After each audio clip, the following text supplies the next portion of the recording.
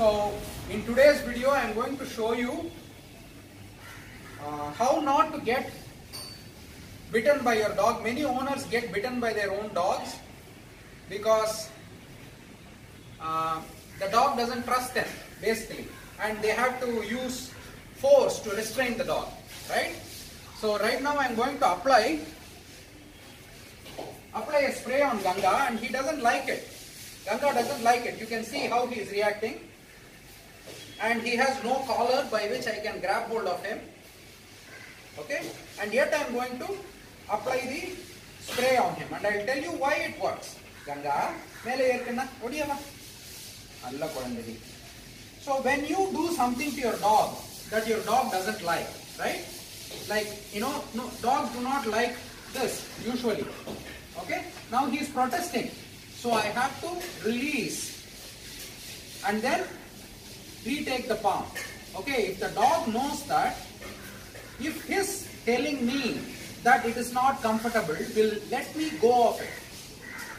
Will make me let go of it rather.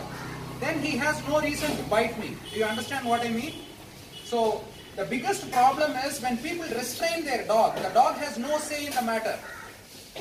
So what happens when you restrain the dog? Let's say that i tie my dog here okay? And i i tie its mouth and then i start applying something or cutting its nail then the dog has no other option to communicate to me that it is uncomfortable and the only option the dog has is to either run away or bite.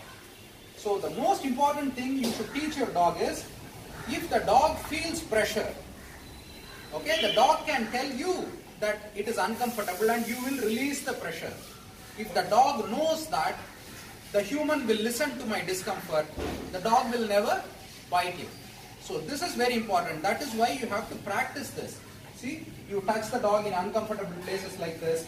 Okay, now he's, he's slightly uncomfortable, but still he's okay with it.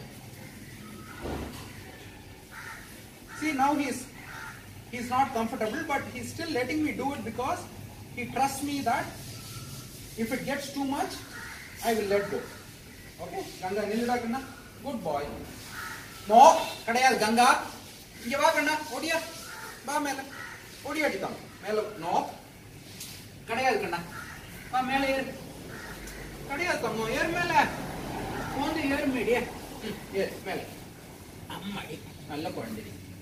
இங்க வா. கங்கா. இங்க வா தங்கம், ஓடியா மேல, ஏறு மேல. ஏறு. மேல வா. இங்க வா. ஹப். அச்சோ, good boy, good boy.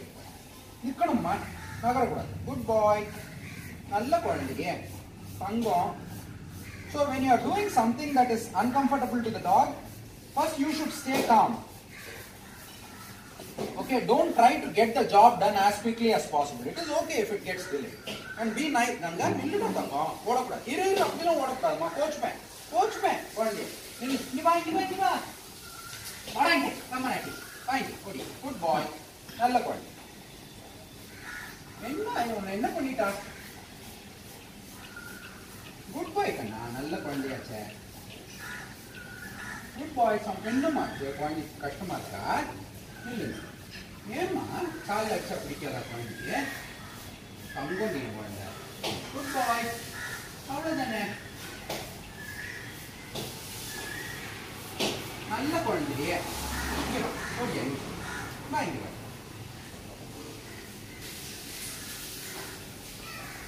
குழந்தை வயிறுமாச்சே என் குழந்தை. And whatever praise you give your dog should come from the heart, okay? Don't fake it. If you really don't like your dog, you can't do all these things. So the reason why he stands is because he knows that if it gets too uncomfortable, I will not have my way with him, right? It's not a one-sided deal. Okay, it is uncomfortable for him. I insist, but he knows that if it gets beyond a point, I will release him. He knows that.